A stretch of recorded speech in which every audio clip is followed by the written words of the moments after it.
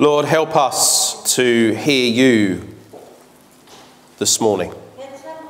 To help us, Lord, this morning, maybe break some chains in our thinking and in our being. In the name of Jesus, Amen. Good morning. Well, this is uh, my first uh, Sunday to be uh, speaking at the front since uh, my annual leave. I know I was here last Sunday, but this is my first full week back in the office. Interesting would be the way to describe my first week. I, uh, I walked into my office now, I know I walked in on Sunday, but really I sort of walked in as such I would see into my office here. I walked in after three weeks away, took one look at it and went, boy, that's really messy. Amen. Thank you, Pastor David. Anyway, stuff had been given. This is, by the way, I'm not moaning here, all right? So just hear this carefully, all right? I'm not moaning. But it's amazing how over time stuff gets given to you. Can you sort of deal with this, please? And I sort of think, yes. And I sort of put it in the office, going, I have no idea what to do with it. I will deal with it later. And then more stuff comes, and the stuff you've already got there, you sort of shift to one side to allow that stuff to come. Sometimes I take stuff that's my own stuff and then gone, well, I need to do something with this and I need to put it somewhere, but I haven't got a clue. So I sort of shift everything else around. Will it fit there? And then that will fit on top of that, and that will go on there, and that will do. And then you suddenly get these magazines and comics, and you go, I haven't got, oh, well, I'll shove that under that table there. And you appear after three weeks to find a rack of post on your desk. Rack a post on your desk and you go, oh, right, yeah, that's for so and so. I've got to deal with that. Oh, I'll deal with that later. Stick that on the in tray. And then you realise the in tray, and actually, the in tray hadn't been dealt with for three weeks. Do you see the point? So I walked into my office and I thought, boy, what a mess. It's that sort of you walk in for the first time with fresh eyes and see for reality what it looks like on the inside. And that's exactly what happened for me. Well, Monday morning that was. And I thought, can't do anything with it at the moment. So I'll carry on going. So I'm sitting at my desk trying to work, and, and I must admit my heart did sink somewhat that Monday morning. But time to sort it out, I'll do it at a later date. So I haven't had time, and that's what been my excuse prior to my holiday. I've just not got the time. Which is probably true on one aspect, but probably not on others if I'd put it in my diary in advance, sort office out. And also, it's a place, it's meant to be a place of where people come in and I talk to them, and it's meant to be a place of tranquility in there. For those that have been in my office who've seen the yellow sofa, yeah? It's meant to be a place that you come in and think, oh, bright sunshine, let's sit in this and chat to Warren. But it gets to you after a while. Anyway, so there I am, Monday morning. You're going to hear my Monday morning, by the way, I just thought you'd like to know. Uh, I spent about two hours going through emails, got frustrated, you try and catch up with three weeks' worth of emails. I hadn't caught up with them all. That was just two hours worth dealing with. And then I thought, oh, I've got to prepare for this Sunday for the sermon. I had it in my diary to do it in the afternoon. I better get on with it. So there I am. And normally what happens is, obviously, you, you spend time preparing for this by listening to God. That's always a good start to preparing a sermon. Lord, what do you want to say this morning? These are your people. This is your church. What would you like to communicate to them? So there I am, sat in my bright yellow sofa. I like the colour yellow, I don't know if you noticed. and um, so I just sat there. Right, let's go. Let's go. Come on, let's keep going. And I don't always pray with my eyes shut. I'm one of these people that tends to have my eyes open as well. And I just couldn't get my mind to settle and focus on God because of the mess in the office. That's all I kept seeing was the mess. I was frustrated with the mess. It really shouldn't have been there. I needed to sort it out. So I thought, right, blow the sermon. It's all right, you can say that occasionally, it's all right. But it's no good wasting your time working around something if you can't concentrate fully, is it? You have to sort of say, that's it, forget it, let's walk away from it for a bit. So I thought, blow the sermon, let's get on with sorting out some of this mess. I'm sure it can't take very long. Uh,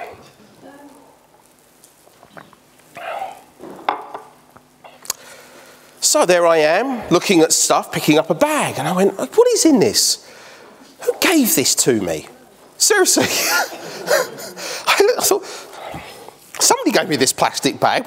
so I pull it out. I thought, there's just rubbish in this. And I don't mean that in a rude manner. It literally was rubbish now. It had been stuff that had been used that I think people had gone, oh, just in case, let's try and keep the last bits of it and maybe reuse it at a later date. The problem was it was stuff that dries out the minute it's cracked open. So there is in this bag that's been literally, as you, you walk in that door, well, let's try and sort of show you what it would look like. Imagine this is the door to my office. This is the wall, and there's my desk. And that, do you see? I've flipped the office around a bit. But I literally walk in, and it'll be sitting there. And I kid you not, you're walking through the door, and you sort of go, oh, yeah, got to sort of avoid the rubbish. And then sort of get round to, I'm not exaggerating this, am I, Pastor David, at all? So get round the office, go into the desk, and sit down. And no, my desk is not a set of drums But, and just getting around a mess. And there was this first bag. So I thought, fine, it's rubbish. What am I doing with this? Right, throw it in my bin. Ah, bin, full. Right, okay, go get Platt sack from the. had an emptied bin prior to going on holiday. Run to the desk, come back, and emptied it. And that's what I spent majority of my time doing was picking up stuff, going, this is junk. Or then picking it down, picking a whole bag down to one thing. Oh yeah, well that's useful, that you have to keep. Does this resonate with anyone so far? Yes, yes thought it would. Good. And then I started coming across stuff that, that, that, is, that is my stuff that's in the office and sat there for the last eight plus years. Some stuff I've inherited from previous office occupants. Um, I don't know if they really are you, Chris, but I'm just looking at you just for a laugh. Um, Chris, if you didn't know, used to be the admin person in his office years ago. So anyway, but it's not Chris's fault. Did I make that sound too long, Chris? Years ago, yeah? No, okay. It wasn't really Chris, I'm just, just having a laugh because she's here. So, but there's just stuff in the office. So I'm, I'm, I'm then going through my stuff and thinking, okay, why am I keeping this? Why is this here? It's always been here. But it's obsolete, it's out of date, it's, it's no longer relevant to today or to anything in the. I kid you not, instructions to a keyboard, I mean a typewriter. Why is that? Yeah, I did find them. Do you want them, mate? Yeah. Yeah, they're no longer in my office. They're somewhere in a palleted bin, probably at Greenford Recycling now, hopefully. But I'm like, oh no, they're in the recycling box at the moment, ready to go. But I'm, I sat, but that's just one little thing. There was lots of big books. I'm thinking, and just gadgets. And I'm thinking, why? Because it's always been here, and there's always that sense of just in case. My work shed in my house is full of stuff that was just in case.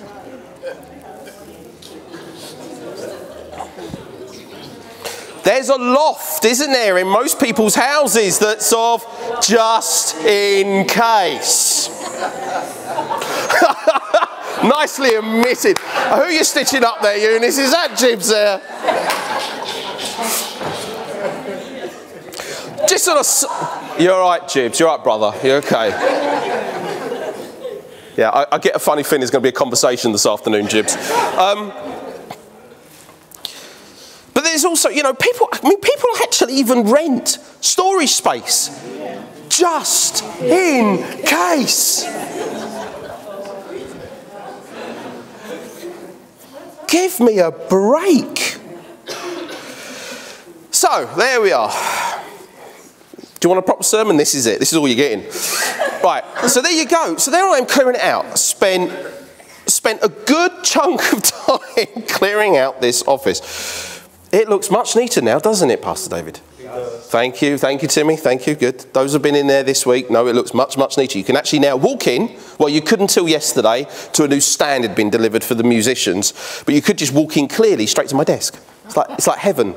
A bit worrying if heaven looks like my office. Anyway.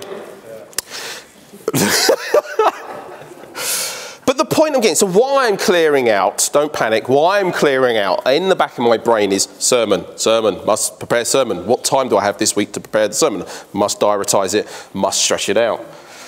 But whilst I was there and doing that, I heard God talking to me about today.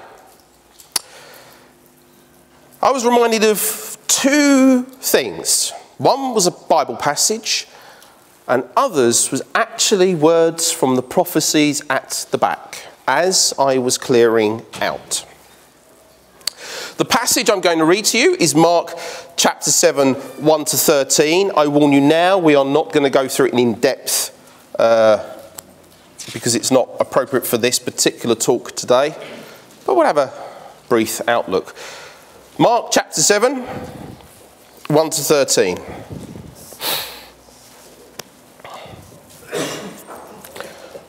One day, some Pharisees and teachers of religious law arrived from Jerusalem to see Jesus. They noticed that some of his disciples failed to follow the Jewish ritual, ritual of hand washing before eating. The Jews, especially the Pharisees, do not eat until they have poured water over their cupped hands as required by their ancient traditions. Similarly, oh, they don't eat anything from the market until they immerse their hands in water. This is but one of the many traditions that they've clung to, such as their ceremonial washing of cups, pitchers, and kettles. So the Pharisees and teachers of religious law asked him, Why don't your disciples follow age old tradition? They eat without first performing the hand washing ceremony. Jesus replied, You hypocrites! Isaiah was right when he prophesied about you, for he wrote, These people honor me with their lips, but their hearts are far from me. They worship, their worship is a farce, for they teach man made ideas as commands from God. For you ignore God's law and substitute your own tradition. Then he said, You, scarf, you skillfully sidestep God's law in order to hold on to your own tradition. For instance, Moses gave you this law from God honour your father and mother. And anyone who speaks disrespectfully of father or mother must be put to death. But you say it's all right for people to say to their parents, Sorry, I can't help you, for I have vowed to give to God what I would have given to you. In this way, you have let them disregard their needy parents.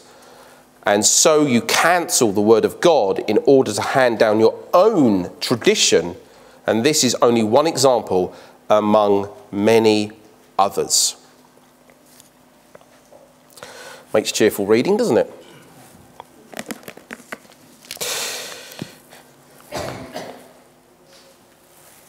Here, there is a battle between the Pharisees and Jesus talking over oral tradition, their view and interpretation of Old Testament law in practice then, in their day. As I said, I haven't got time to read the whole passage, so we're going to pick one or two, uh, not read the whole passage, but study the whole passage. We're going to unpick as we go along. Again, Jesus stood closer to foundational beliefs of the Pharisees than anybody else but clearly not in practice when it comes to oral tradition. Now, I am not going to break down the full differences. Who was here last week? Do you remember the three, sorry, the three chaps, two weird and one good looking at the front? No, no, no, no, wrong good looking one, he's here. For those who don't get the. Clearly, I'm kidding. But the breakdown that Kevin made of the differences between the Pharisee and the Sadducee and the Christian, Barry being a really good Christian, do you remember that? He did that so well. I am not going to sit here, I'm breaking it all over again. We'll be here all day. But I will just say this that the Pharisees really believed in, for want of a better phrase, in what we do today, which is look at the Bible. They looked at the Old Testament, look at the laws of the Old Testament, the rules and the instructions, took that, then took it into their practice of their day, and well, what does that actually look like? How does that play out today? So we might look at something and sort of say, um, well, let's just take taking the offering, for instance. What does that look like? Is it 10%? Is it these days now it's between you and God, how much you give? Actually, is it actually really any of it your money or is it what God's given you? And how that works out in practice. And they called that the oral tradition and it then became rules for them. Do you see what I mean? One example was about how many steps you could walk on Sabbath before it then became travelling. You could only travel, you weren't allowed to travel on Sabbath. So, how many steps could you do? And if you went beyond that, you're now travelling, you're actually working, and you've broken the Sabbath rules. It's that strict.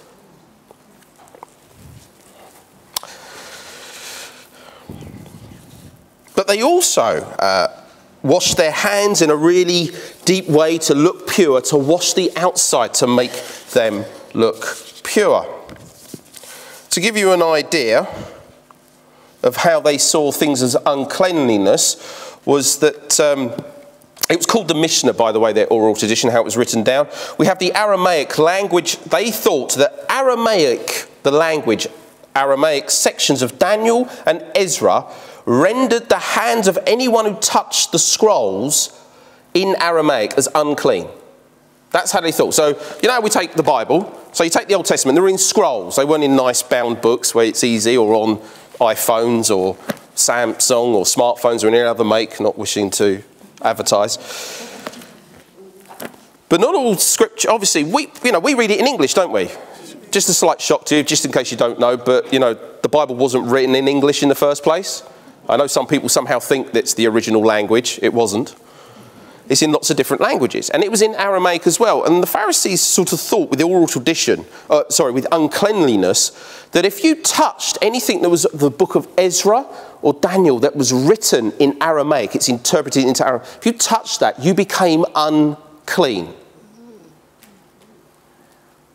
Now, you might have done if it was dusty, but not religiously unclean, where you had to then go through purification, getting yourself cleansed before God. Do you see the point? Who thinks that's a rather strict and a rather daft? There you go.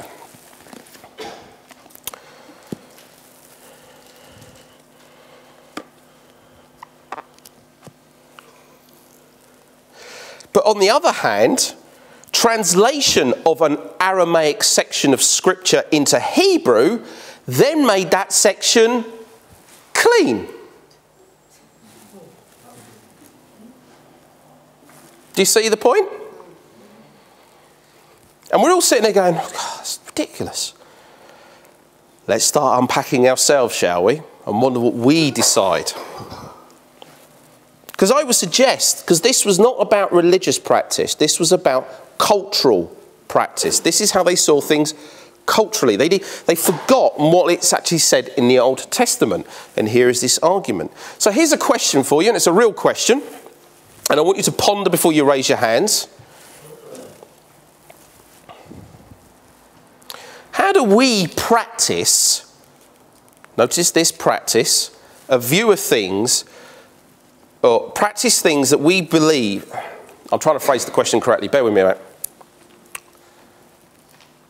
we actually see things that are unclean when God says, no, they're clean. Things that we can't touch, or people. In practice, if you think about it, who do you think you might actually consider, or what thing you might consider unclean before God?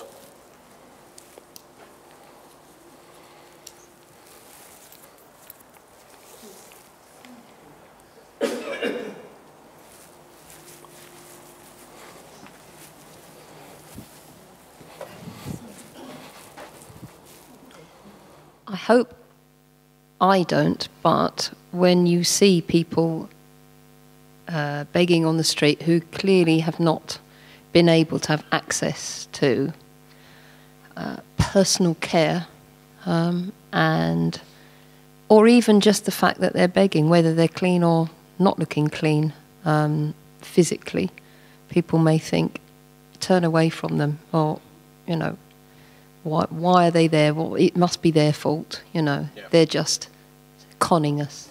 Okay.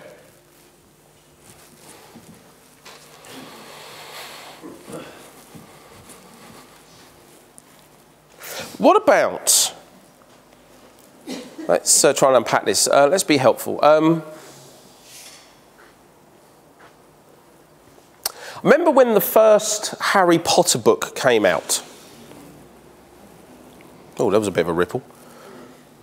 When the first Harry Potter book came out, oof, did the Christian community, or a chunk of it, kick up off in uproar? All to the point of when you got people that really banged on about how evil it was and terrible, and it's about magicians and sorcery and it's all demonic and all of that. Then when you turn around and say, Have you read it? Oh no, I wouldn't touch that. It's unclean. So Satan. Do you see the point? How do you know unless you read it? What else? I could have talked about the life of Brian, but that's even before my time. I was thinking when you when somebody's sin you feel outweighs yours. So, you know, something that they've done that's worse than yours, sometimes we we take those people as unclean. True, and we don't go near them. We actually avoid them because we don't want to be associated with them. Is watching Star Trek, Star Trek t- unclean? No, that's holy, Dennis. I keep trying to explain to this church that, you know, you're not going to get in unless you know Star Trek. No, I'm joking, I'm joking. Sorry, do apologise. Coming all through. I think sometimes um, books of other religions, like people thinking about touching the Quran, is that unclean and wrong as a Christian? What about pl- going to places like pubs and clubs where there are non Christian people? Will it rub off on you? Yeah? And it might rub off on you because it might actually change you for be a better Christian because you'd actually learn what it, where Jesus probably would have gone or would have done in our day. Uh, reading horoscopes. Okay? I would consider. Yeah, go on. Sort of like like how as Christians, you know, being good and everything. uh, good Christians, we will read our Bible. People read their horoscopes every day, and what then they take it further than that. You know, seances and uh, whatever else. You know, like um, what's the other things? Uh, palm reading, tarot cards, and all that. But those I would consider that we should consider um, unclean. We shouldn't go anywhere near those because with those we open ourselves up to. I really want to pick at things that we consider to be unclean. Actually, we're wondering is God saying it's unclean? Um, in some environments, uh, maybe for uh, Christians drinking alcohol could be seen badly, or even listening to songs that are not Christian songs. Uh, could also be. And then define a Christian song. I think Halloween's dirty. Okay, thank you. Going to a mosque or temple, Hindu temple? People consider that unclean. Mm, Yes. Okay, thank you. Going to a, a temple. Okay, thank you. Eating pork. Eating pork. This is one thought uh, uh, got me thinking is that, uh, you know, like during the Christmas time, uh, the whole Christian community in the world, they celebrate Christmas. But I do get a message, and also a lot of people saying that Christians are actually celebrating Santa Claus rather than, you know, rather than, you know, the birth of Christ. You know, we actually saved this world of the sin.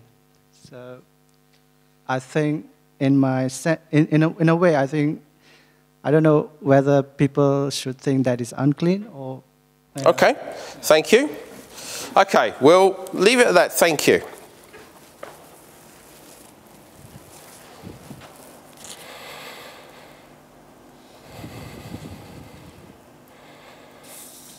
Yeah, I've said to, I've got stuff here which we view as might view, and you've said it in one of them. And actually, somebody being fired from a company. Back in the old days, somebody got fired from your company. It's amazing how many people never made contact with them afterwards. They want to be associated with them, and you have no idea why they got fired. Well, certain fictional books I've written down Star Trek, Star Wars, clean.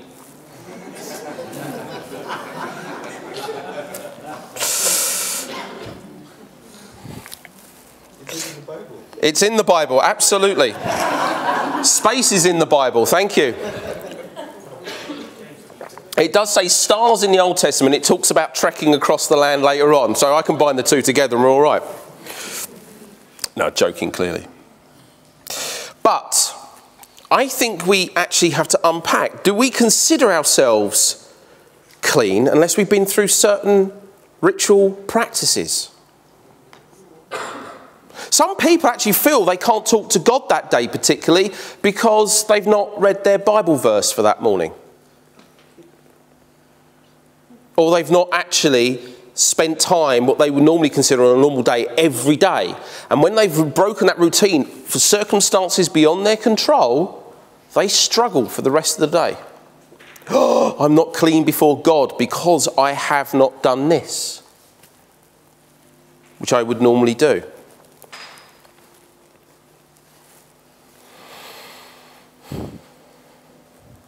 Just lodge that in your background.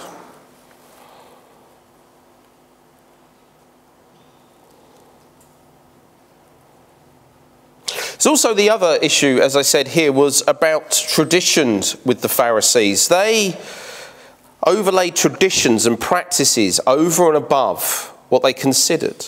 Jesus, when he's talking here, says, For you ignore God's law and substitute your own tradition.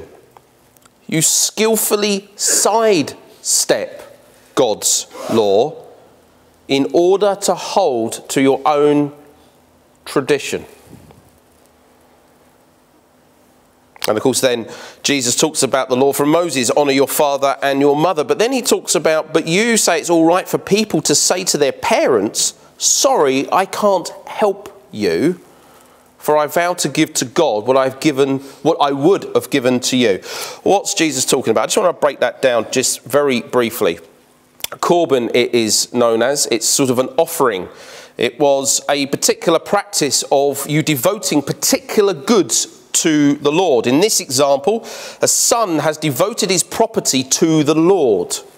Therefore, upon his death, his property will be given to the temple.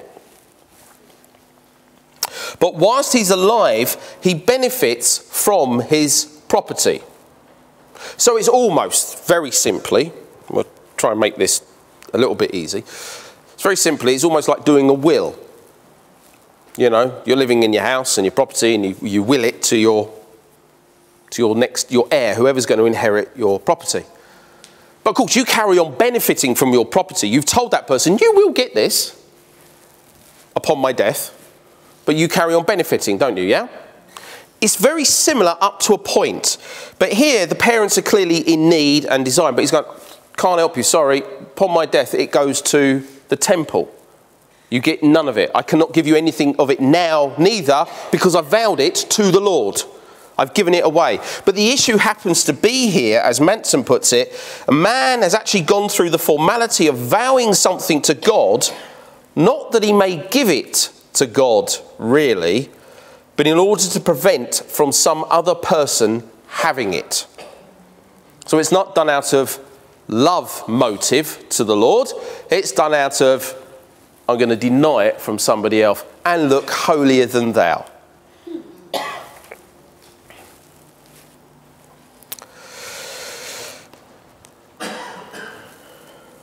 But what is also interesting here for Jesus is having a go is that the priests were well known from discouraging anybody from reversing.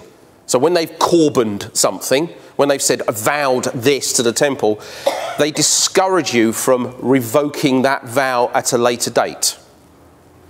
And I can imagine the things that were said. God will not love you anymore. I overdo the Pharisees slightly. I do them a slight disservice. But you can imagine how it happens. And how many people think like that? If I've not given him my, excuse me, Timmy, if I've not given him my offering, God doesn't love me this week. Timmy won't, but God will. No, I'm joking. Timmy doesn't even know. Look, God even moved the heart of HMRC.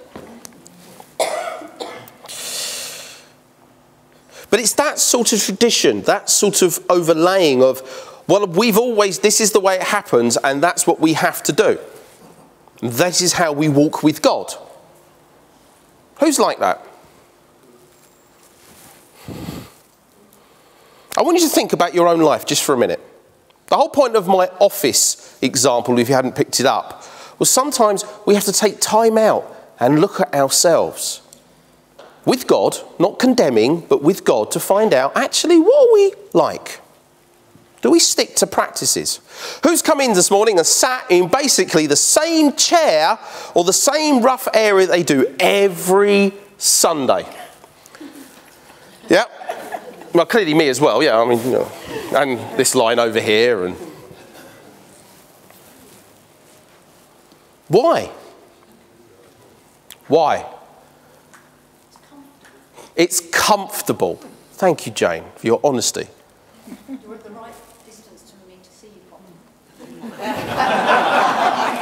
Flattery will get you nowhere. Not too close. We're going to have a word later. Right, anyway, well, I like to sit in similar places, but I think it's to do with comfort. You feel comfortable in that place, that space. That's your comfort. zone, as it's called, that old adage, this is my place. And I think that's what happens with tradition, is that we're comfortable with it.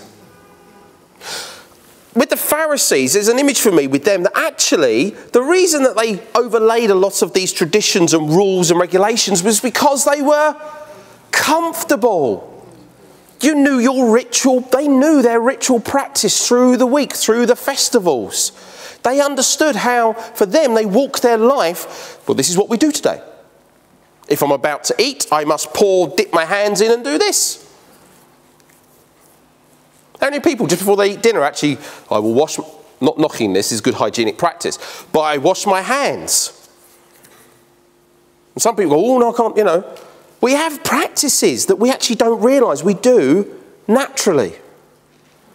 First thing in the morning when you're waking up and getting out of bed, who has a particular order of way of getting ready for the day? Yeah? Nothing wrong with it. I'm just saying you have it. But you don't think about it because you just do it.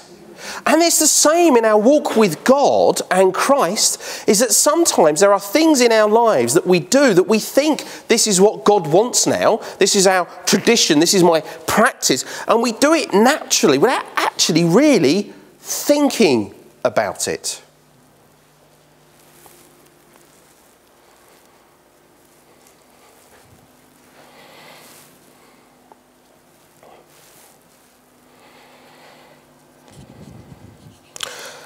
We sometimes have to actually look in back at, almost sort of walk out of ourself, walk out of the office, and then go back into it three weeks later to see actually there's a mess here. There's things here that shouldn't be here anymore. Why is it here? I need to chuck it out. I've got brand new books, brand new commentaries that actually can't fit on my shelves at the moment. Why? So I've got stuff that shouldn't be there.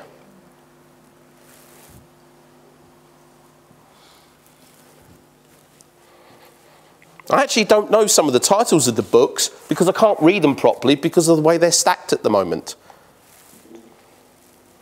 The same goes with us. Sometimes we need to take things with a fresh look and to see something new.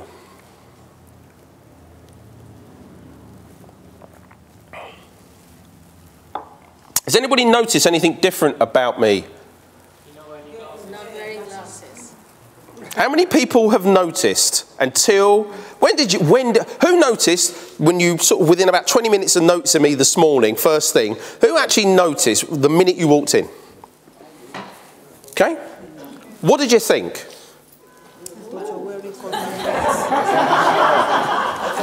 What did you sorry. I thought you were wearing contacts. that I'm wearing contacts yes thank you. Who didn't notice now until I've just mentioned it and be honest that's interesting, isn't it? Did you not? That explains why you didn't say anything. For... Look, I've got glass cleaner. No. Interesting, isn't it? What you do and don't see in somebody else, so therefore, then what you do and don't see within yourself.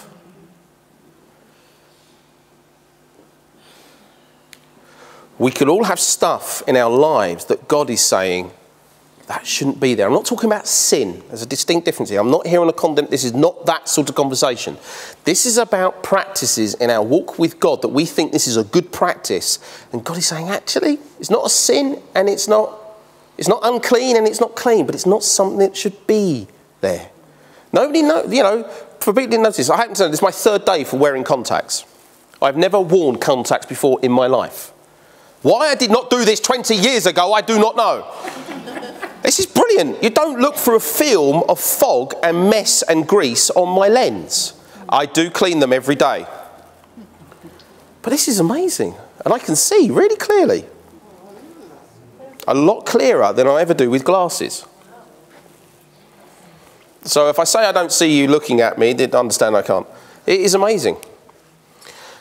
When you take some time out and I was taking a risk in doing contacts. Let me explain to you. I have a, I have a. I'm not going to go into it too deeply because I just don't want to do that right now because I know what happened. But the idea of sticking my finger in my eye, the lot of you probably all think, oh, that's fine, just do it all the time. But I have a general unhealthy fear or a fear of, yeah. So I thought this is ridiculous. I, I, I, really, and then it was last week. I went to the. You're going to get another life story of Warren. I went to the optician, so I better have my two yearly eye test. Discovered I only had the eye test last year, um, but booked myself in. Went for the eye test. Yeah, my prescription's changed again. So okay, fine. And while she's sitting there, and I'd already said to Joy about 24 hours before, do you know, I think I might try contact. She looked at me like, "Where's my husband?" Um, and, uh, and so I said, yeah, I'll give it a bash. And I'd already done some research, like, oh man, you really got to do that, that, that, and But let's go for it. Let's, let's, let's get on with it. Let's, let's break this ritual that I've had of always wearing glasses and ordering my usual glasses. Glasses with Reactolites. I can't stand bright light and bright sunshine, so Reactolites all the time. And buying sunglasses for the car because Reactolites don't work in cars. Isn't it irritating? So sunglasses, and it doesn't come cheap, all of this stuff together. But let's try and break this routine down a little bit. Let's see if we can cut down on.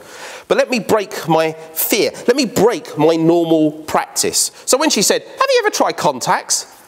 No, but I'm willing to give it a bash. She goes, oh, great.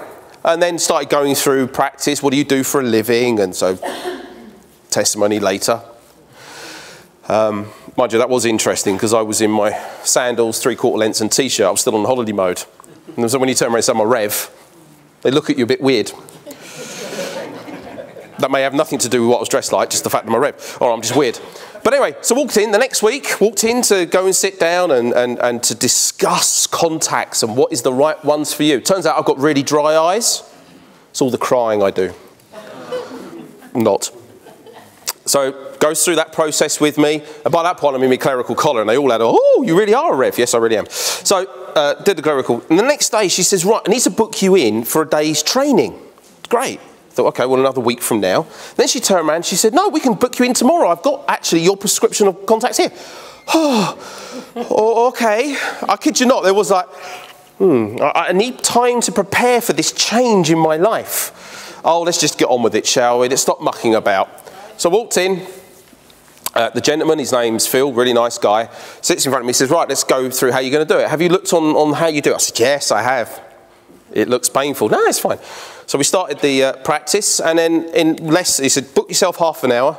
Well, less 20 minutes, he said, well, you've done this three times. You seem to have this off pat. You exactly know what you're doing. And it was really easy. I thought, this is great. He said, you've got to overcome the, the initial... And I thought, yeah. So it was a couple of times, don't be wrong, I didn't go, oh, yeah, ba-dumph.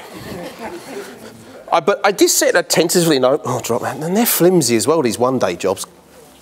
So anyway, I eventually, it's really fun, this, must override the need to close the eye. Think brain, override, dumph, and in it goes. And then scrape it out and throw away. And it was a lot easier than I thought. And I have got in already within three days into this is really easy. This morning I went to go and do it, and I thought, no problem. But somebody wanted to watch me.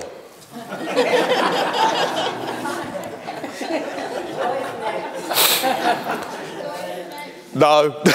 but she wanted to see. So initially, the first right one, I thought, yesterday I did this note. I was like, dum, dum, dum, dum. Great, brilliant. First one. Second time, it went in, great. And then when they go and do the left eye, you see, what you to understand is Joy's there. so every time I go to do it, I see her move. and it's like somebody watching over you when you're trying to type a letter on the laptop, isn't it? You suddenly can't even spell the word and. And that's exactly how it was, because she was watching. I thought, no, I need to. I politely, no, I didn't. I said, could you get out? so she went, all right. So she told us all downstairs. And says and then I went, no, no, oh, come on, you know how to do this. Get on with it. And that was it. We're done. Point of this is actually when we actually really take the risk and the gamble to throw something out that we've been doing for years, it's amazing what's happened. So, what is the second thing that God was talking to me about whilst I was clearing out the office? In those prophecies, there was spring clean my house. And he wasn't talking about the church building. Forget the trivia. I will break the mould. And those words just would not stop resonating with me as I am spring cleaning the office. God's saying, forget the trivia. I will break the mold.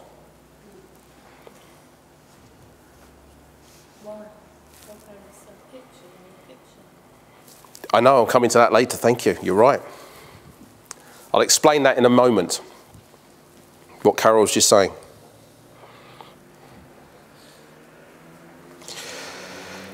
Sprinkling my house doesn't mean, when God is talking, is just clearing out sin, which is what how a lot of people register that sometimes as being. He does mean that as well, but he does the clearing out. We just have to identify it as something that is sinful. To give you, yeah, I'll come back to that later. But spring clean my house. Throw out that which is no longer of any use. Why are you hanging on to a tradition in your life or in the church life, whatever way that looks? Spring clean it out. A way of thinking that you think about yourself. God is saying, spring it out, get rid of it. Stop thinking like that. That's negative thinking. That has not come from me.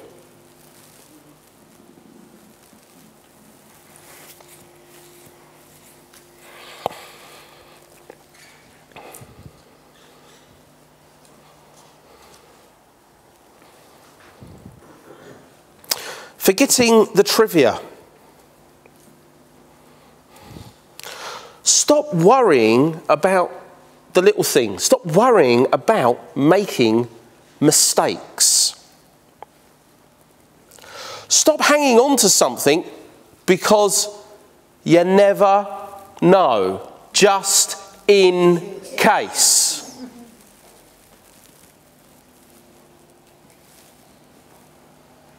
Stop worrying about making errors. We're all going to make them. But if we don't take a risk and jump out and forget what maybe some people think, we will never, ever take a risk. Clear out the loft. Take a risk. You might never ever see that or need that stuff ever again.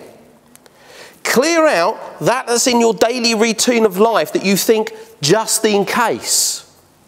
If I don't read my Bible today, I will sweat and panic because God is not going to love me today. That's a just in case. I've read it just in case God doesn't want me. You're meant to read it because it just helps, it grows. God talks to you and how you can grow with Him in relationship. It's not a just in case. I used to fall into the habit of must read one Bible verse just in case. Huh?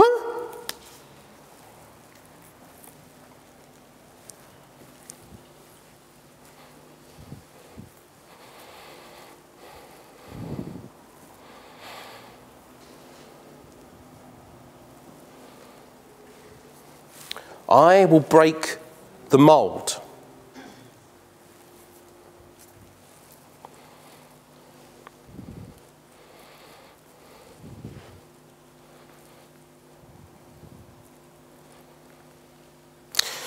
When you might well read uh, those uh, prophecies up there, that comes from the last one I will break the mold. Got to keep our eyes focused on Jesus. I will break the mold. And we might well read that absolutely in Greenford Baptist Church context. If you're a visitor here this morning, I strongly encourage you to read those four prophecies at the back. But if you're read that in context, but we forget that we are church, yes? We are Greenford Baptist Church, yes? So when God talks about breaking the mold, he's not just talking about Sunday mornings.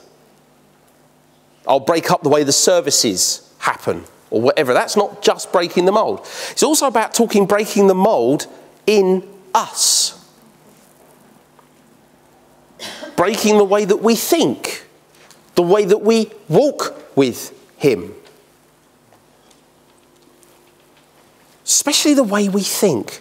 Actually, today's Bible reading for me today was quite interesting. Are you a, when disaster comes, are you a half glass empty type of person, or are you a half glass full, faith filled type person when disaster comes?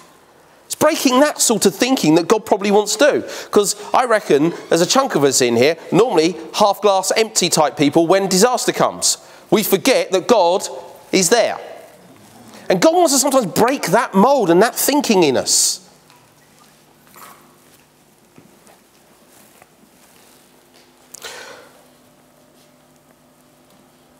As I said earlier on, I've got new books that can't go on my shelves at the moment. The old books are there. The old needs are there. They're no longer required. I need to spend time going, don't need that one. If you suddenly hear an announcement at the front from church, me saying there's some books for you if you want them, you know I did the job. But there's things that need removing so I can put things in place. Sometimes I'm suggesting that this sort of start of this new year as such, I know it started last week, but this start that maybe some of us need to take a step out with God and maybe with one or two other fellow brother, sister, um, brothers or sisters in Christ. Take a step out to look at our lives and to say, what God are you saying needs to change within me? What practice, what tradition, what view, what way of thinking about myself or others do I need to change? That you need to change for me when I identify it. So that our life can be lived fuller and freer and less messy with Him.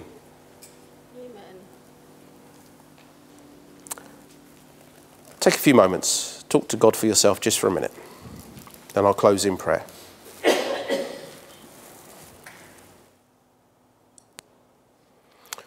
Lord, Heavenly Father, as, uh, as we all walk out of here today, I pray for each and every one of us, Father, that most certainly not with condemnation, but Lord, that each of us will, with you, reading your word, spending time with you and others around us who we trust, Lord, But we will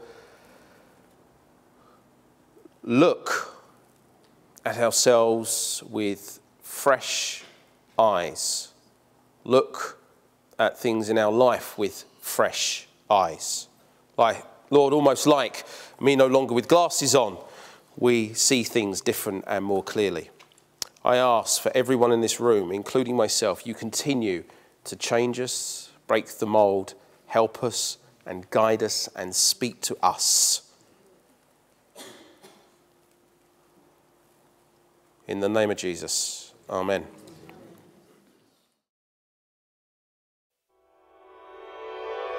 We do hope you've enjoyed and benefited from this presentation. To learn more about what the Bible teaches us and how to apply this to our everyday lives, check out our biblical teaching videos at gbcweb.tv.